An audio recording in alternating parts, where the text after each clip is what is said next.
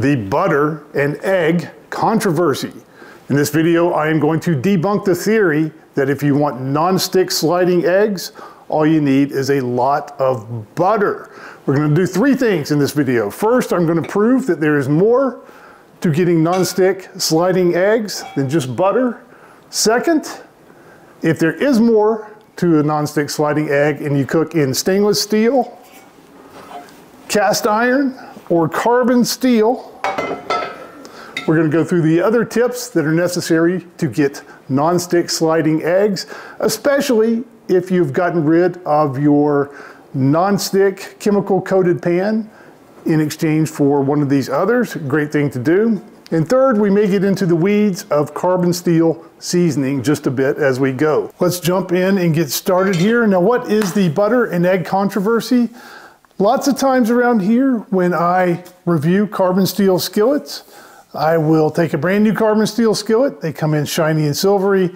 I will season the skillet and then I will cook a fried egg. And I always use butter when I fry those eggs. And the goal is to get an egg to release without a spatula and slide around like a hockey puck. And if I'm on my game, I nail the flip as well. I call it the fried egg test. Every time I do that, I get feedback. And it's always some version of, with that much butter in the pan, of course an egg slides around. Of course the egg is non-stick. In this video, I am going to prove to you that there is much more to it than merely having a lot of butter in the pan. I'm to use this guy as our subject pan. This is a De Buyer 11 inch Mineral B Pro and you notice a very dark black shiny seasoning on this guy.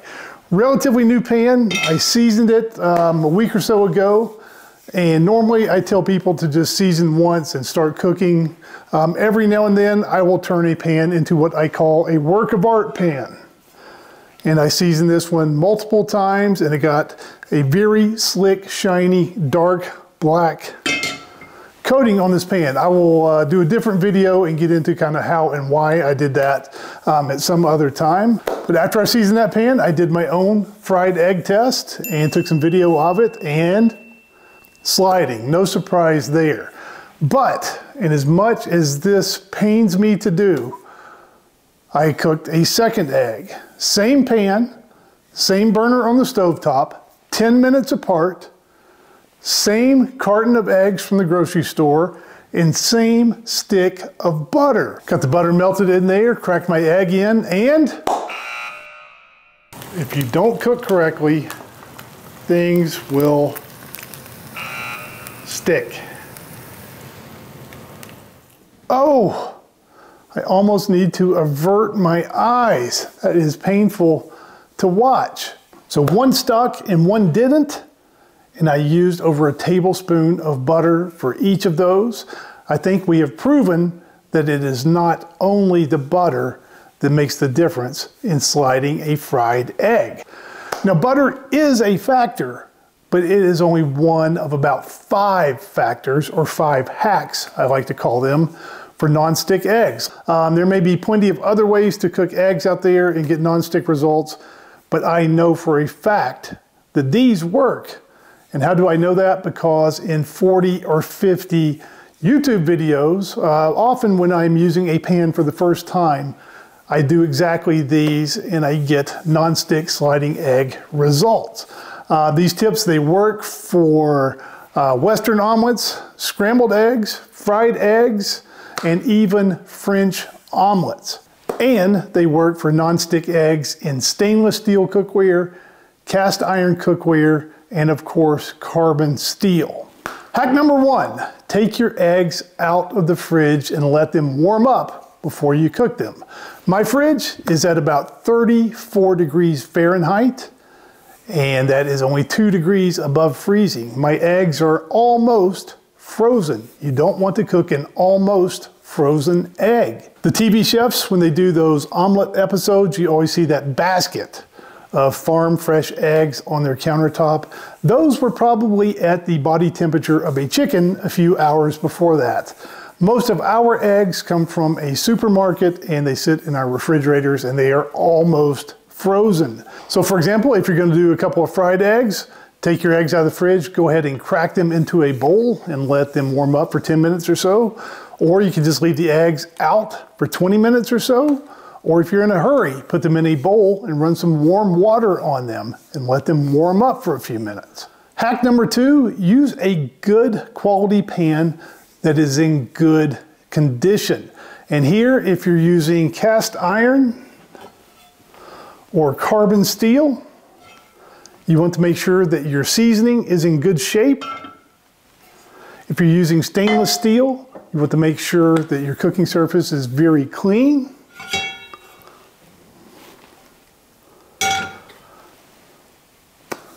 And here I want to note that if you're using that carbon steel or cast iron, you do not need a shiny dark pan like this.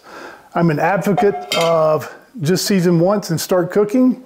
That's what this pan is. You notice that the seasoning is lighter brown, it's blotchy, it's not uniform, it's not dark black.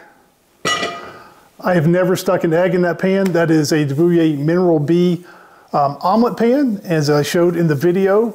I got non-stick French omelets in that carbon steel skillet with just one round of seasoning. And getting out into the weeds of carbon steel seasoning a little bit here, one reason I advocate for people doing the season once and just start cooking method is if you do spend four or five hours turning a pan into something like this and you stick an egg like I showed, earlier in the video, you will naturally think that there is something wrong with your seasoning and you will go back and reseason that pan and you will kind of go down the wrong path rather than focusing on your cooking technique, which is what we're going through right now. I think your time is much better spent learning these techniques and then later on down the road, if you want to, once you're familiar with your carbon steel and know a little bit about cooking in it, if you want to darken in your pan, then have at it. Now I talk about having a clean pan here. What I'm talking about is you do not want to try and get non-stick eggs after cooking something like bacon. Lots of people like to cook bacon, take the bacon out, crack an egg in the pan. There's always gunk left in the pan when you cook bacon. I don't care what pan you're using. And those eggs will often just fuse to those little bacon bits. You really need a clean pan to slide your eggs. Tip number three, and this may be the most important of all, you've got to preheat your pan properly and cook at the correct temperature. So here, this one is where you need to egg experiment just a little bit because every stovetop is a little bit different. There are different sized burners and every carbon steel skillet is a little bit different from between the different manufacturers. You're gonna have to try a couple of times and get your preheating done correctly. Some tips though, um, on a gas stove top, move your pan around a little bit as it preheats. And carbon steel and cast iron, as much as I love those cooking materials, they do not spread heat very rapidly and evenly. So you have to take a little bit of extra care to get them heated as evenly as possible. Believe it or not, on a bigger gas burner, there is a relatively cooler space in the middle of that ring of fire. And if you just put a pan right on top of that burner and don't move it around, you can have a 70 or 80 degree temperature differential between the middle of that pan and the edge of the pan.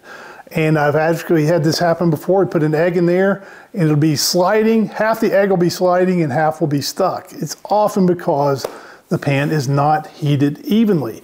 Now, if I'm gonna cook a French omelet, Another thing I do, because you need to be double extra careful when you do all these tips for French omelets, I will go ahead and preheat the pan for a minute, minute and a half, and then turn the burner off and let that heat kind of diffuse through the pan while I'm getting my other ingredients ready, and then preheat the pan again when I'm ready to cook my omelet. Now on induction stoves, it's often the inverse of the problem you get on the gas stoves, because induction stoves, you can have a smaller coil, and if you put a bigger pan on that smaller coil, you can get a hot spot right in the middle and cooler, cooler temperatures out towards the edges. So there you may want to preheat your pan a little bit more slowly than you would on other cooktops, but make sure you get your pan heated evenly before you cook your eggs. Now, what about the proper cooking temperature? This is going to overlap with tip number four, use butter just a little bit here. But for the proper cooking temperature, if you have a surface probe thermometer, uh, for me, I've found that if I take a couple of readings and the pan, it's a moving target because the pan is heating up. But if it gets somewhere around 250 degrees and then I put my butter in, that generally works pretty well. Um, if you don't have a surface probe thermometer, what you can do is flick some water in the pan and if it rolls around like little ball bearings, that's probably actually a little bit too hot, but it's a good place to start and your eggs won't stick and you can kind of dial back on uh, subsequent eggs after that. Or you can use your butter. So tip four is to use butter when you cook your eggs. And here we see that butter is an important factor, it's just not the only factor. Now, why is butter so important? Um, a, it's delicious, but B, it's a very smart condiment because it knows two things. The first is it knows if your pan is preheated to the correct temperature. And second, it knows when to add the eggs to the pan. So let's drill down on this just a little bit more. When you add your butter to the pan, and here I always use a good French tablespoon of butter. And if you're wondering what is a French tablespoon of butter, it's a little bit more than a tablespoon. So when you add your butter to your pan, and you will eventually get the hang of this, if it just kind of slowly and casually melts like this, the pan is too cold. If you put the butter in the pan and it explodes in a flash of steam and splatter all over the place, the pan is too hot. If it melts quickly, but not in a flash, and starts to bubble and crackle, then the pan is just right. That bubbling and crackling is actually very important. What is happening there is that the water content of the butter is boiling and evaporating away. Uh, butter, every brand is a little bit different, but it can be 20% or so water. So when that bubbling subsides, you know that the water content of your butter has evaporated away and you're left with nice butter fat, delicious butter fat. And it turns out that there is a window from the time that butter stops bubbling and crackling until it browns 10 15 seconds later. That 10 second window is a fantastic time to add your eggs to the pan. Now, a couple of other questions often get asked, um, especially regarding that butter. What if you want to use avocado oil or olive oil or some other type of oil? Can you use um, other oils and fats besides butter? Of course you can, but what you're gonna have to do there is experiment a little and work on your timing because you can use those and get nonstick eggs, but you don't get those indicators with the, uh, with the way the butter melts and the stopping of the crackling to let you know when to add your egg. And adding your eggs correctly is tip number five. If everything has gone smoothly up to this point, we have a, an evenly preheated pan. We have a nice layer of butter fat. We have a room temperature egg. Um, we have plenty of butter in the pan. And we're going to gently lay this egg out kind of on top of that layer of butter fat. I kind of think of it as kind of sliding the egg on top of there, or maybe the egg is a little raft kind of floating on a little micro sea of butter. Think of it however you want to, but what you don't want to do is crack an egg and drop it in from six, seven inches above. It will go through that layer of fat and it will hit the pan and confuse to the pan. So you want to lay it out gently onto your little layer of butter there. If you have trouble doing that, what you can do is crack your eggs ahead of time into cups or bowls and then gently lay those out into the pan. And if everything has gone correctly, you should be able to give the pan a little goose and those eggs should release. If you want to see some more videos about carbon steel cooking, check out the links on this page. Thank you for watching. We'll see you again next time on Uncle Scott's Kitchen.